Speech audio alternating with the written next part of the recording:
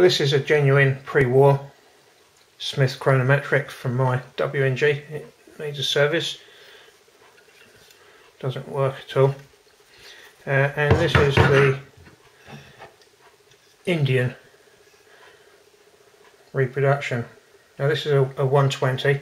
This is obviously only an 80. Uh, the main difference is the physical size. These ones will fit inside a headlamp nacelle on a Royal Enfield Bullet, I've been led to believe. It works nicely, it's got a, a smooth kind of action to it.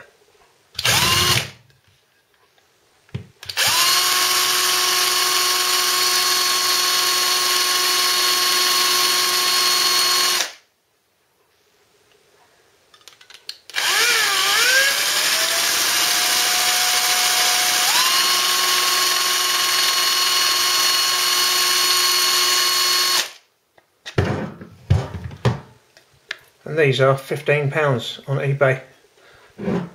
These are about 450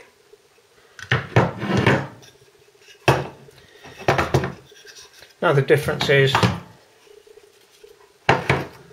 the actual fitting. You would need to get a specific cable for an Indian made Smith Speedo they are available on eBay or Amazon or your Enfield dealer. So there you go. Quick look. And it looks quite nice for the money. How accurate it actually is, who would know?